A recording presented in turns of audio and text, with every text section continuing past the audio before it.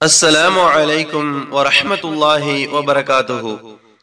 அன்பார்ந்த சகோதர சகோதரிகளே தினமும் ஓர் ஹதீஸில் இன்று நாம் பார்க்கவிருக்கும் செய்தி படைத்த இறைவன் அவனுடைய அடியார்களாகிய நம்மிடத்திலே எதிர்பார்ப்பது மனிதர்கள் செய்யும் பாவங்களை குறித்து அவன் அச்சப்பட்டு படைத்த இறைவனிடத்திலே அதற்காக கையேந்தி பாவ மன்னிப்பை தேடுவதைத்தான்.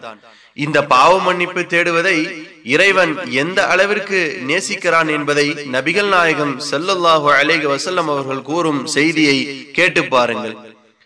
உங்களில் ஒருவர் காணாமல் போன பொருளை மீண்டும் பெற்றுக்கொண்டால் எந்த அளவிற்கு சந்தோஷப்படுவீர்களோ அதைவிட அதிகமாக அல்லாஹ் ஓர் அடியான் இறைவனிடம் பாவ மன்னிப்பு தேடும் போது சந்தோஷப்படுகிறான் என நபிகள் நாயகம் சல்லல்லாஹு அலேஹி வசல்லம் அவர்கள் கூறினார்கள். அறிவிப்பவர் அபூஹுரேரா அலி அல்லாஹு அன்ஹு நூல் முஸ்லிம்.